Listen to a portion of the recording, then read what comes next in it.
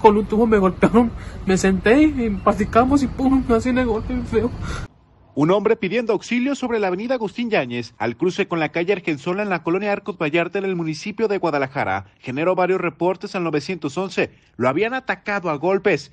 El hombre que dijo llamarse José señaló que se encuentra en situación de calle y se dirigía a buscar un lugar donde dormir, pero se encontró con un grupo de adolescentes que lo atacaron con un tubo de metal, provocándole golpes en el rostro.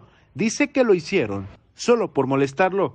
Prasa, agarrarme mis centavos, ahorita no tengo ni un centavo ni para comer, ni para un chesco ni nada. ¿Y te golpearon? ¿Qué fue lo que pasó? Con un tubo me golpearon, me senté y platicamos y pum, así de golpe feo. ¿Cuántos años tiene este muchacho? Eh, como dicen los polis, entre 11, más o menos, no sé cuántos años tenga, la verdad.